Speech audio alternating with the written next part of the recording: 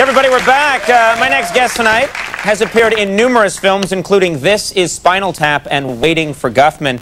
Now you can see him in Best in Show. Please welcome Fred Willard.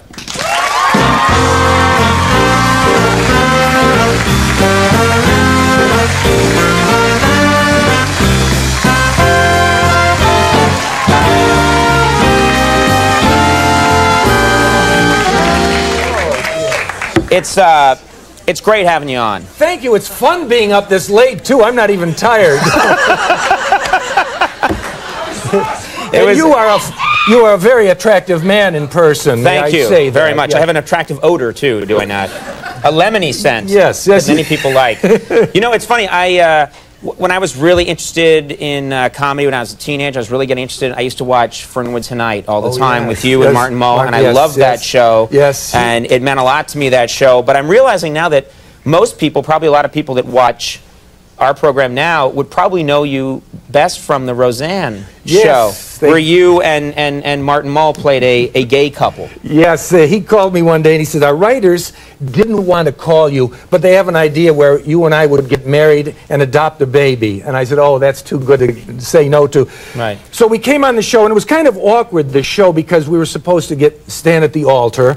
Norm Crosby was the minister, so you imagine the tone of the show. Right. And we were supposed to kiss, and it was sort of uh, uneasy because I've known Martin for a long time. So Well, he, he had second thoughts on the show, so Roseanne was supposed to give him a big smooch, gave him a big smooch to prove to him that he was gay. And so when it came that time we were supposed to kiss, the camera kind of panned by and we faked it. The day But after still- the most people thought you had we, kissed. They thought we kissed. The day after it was shown, he was at have his, having his car fixed, and his mechanic said, "Boy, you actors, I don't think I could do what you do." And he said, "Why? Having to kiss Fred Willard?" He says, "No, having to kiss Roseanne." Those mechanics, they're a saucy lot.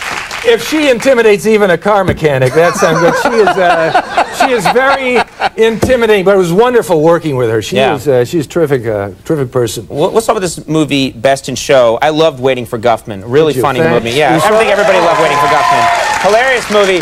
This is you guys assembling a lot of the same people to uh, to do your take on basically what is the competition for dog show competition. Dog show. Now I was surprised to find out how many people watched the Westminster Dog Show. I didn't know the darn thing was on television. Oh, yeah. But everyone I talked to said, "Yeah, I miss it." So it's a take on the people who uh, have the dogs and uh, uh, put them in the show. And you play in the in the movie. I'm you a, play a the sports uh, caster who was brought on as a color commentator who unfortunately has not had uh, done the preparation to learn anything about dogs. he's, and you're just trying to liven things up a little Just trying to add my two cents, you know, All make right. things a little uh, more interesting. Let's uh, take a look at this clip from Best in Show. We have a clip. yeah.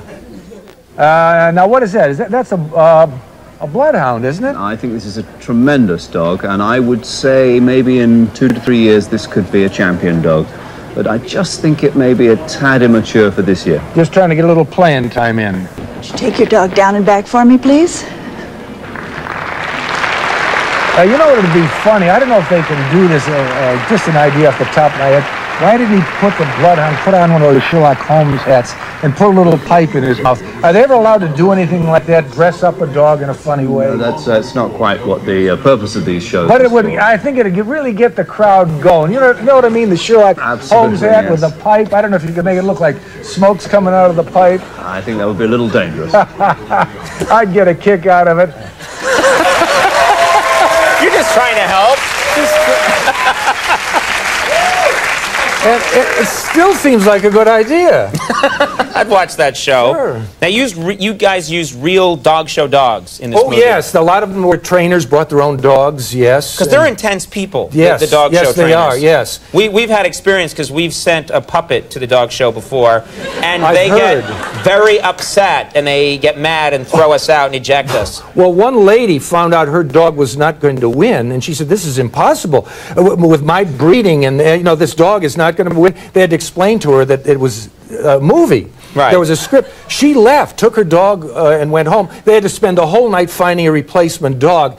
Now, the problem this caused, the judge goes up to the dog and looks at its teeth and reaches between its legs to grasp its. I think I can say it, the testicles, for, because for some reason the, the dog has to have two. You, you decided you could say that? No. I think You could have used a lot of words. Uh, no, testicles. I'm hearing is It's a fine. medical- it's a oh, medical but can only say it once. Okay, I said it twice. Go ahead. But there must be two where the dog is eliminated. Now, the point is, and that's, this- and that's why they actually seriously. That's That is- why that they feel them. You need to have two. I don't know. It wasn't my idea. But this poor dog. Suddenly, I see this poor dog skittering, and I said, "What's wrong?" And they said, "Well, here's this dog, probably uh, at home, uh, and, and, you know, thinking, oh, I'm going to be in a movie." He wasn't trained this way, and someone, someone has their hand between his legs, and that's how I got the role when I auditioned. I didn't flinch. Christopher Guest put his hand. It's fine. Take your time. I'm a professional. You do what you have to do. Of course. Well, uh, Best in Show is uh, in theaters now, and uh, Fred, uh, thank you so much for coming by. It was a pleasure. Thanks Great for having having you on me on the program. Fred Willard, Yes, everybody. R.L. Burnside coming up. We'll take a break. We'll be right back.